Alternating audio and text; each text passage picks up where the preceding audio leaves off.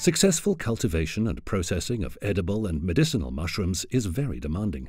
Apart from optimal climatic circumstances, much knowledge, time, space, and experience are needed. Pure air and clean water are essential conditions for a mushroom's natural growth.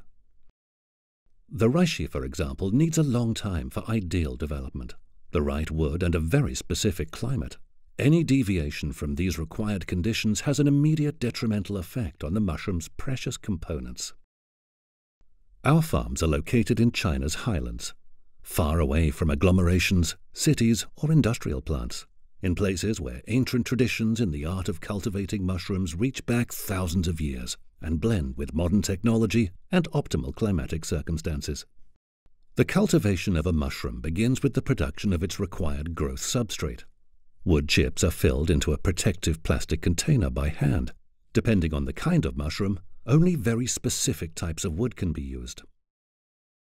The required wood is taken directly from the forests and thereby needs to be sterilized first, cleaning it of any bacteria or other unwanted mushroom strains. It is due to this cleansing process that pesticides are not required during the entire growth process. The mycelium in question is injected into the substrate by hand, under the most sterile conditions possible. It is from this mycelium that the fruit body will grow later. The mycelium stores the nutrients needed for its growth. After the inoculation, the substrate is referred to as a fungus culture. When the fungus cultures are ready, they are stored in shelves. The amount of exposure to sunlight, air circulation, and the temperature are regulated by moving cover drapes. Our farmers use their vast traditional knowledge during this delicate process, thus optimizing growth and minimizing pest infestation. This way, the use of pesticides is not necessary. The fungal mycelium slowly spreads throughout the fungus culture and uses the substrate as a nutrient.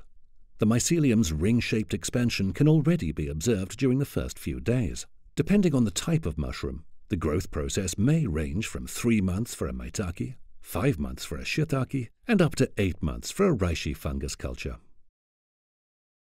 The mature mushrooms are harvested. They are hand-cut and prepared for drying. The local farmer's traditional knowledge passed down through generations is an invaluable treasure. This guarantees the constant high quality of our products. In this spirit of environmentally friendly and sustainable production, the fungus cultures continue to be useful even after the harvest. They are burned in heat production facilities and on some farms used to fuel the drying ovens. It goes without saying that the plastic containers are collected and treated for reuse.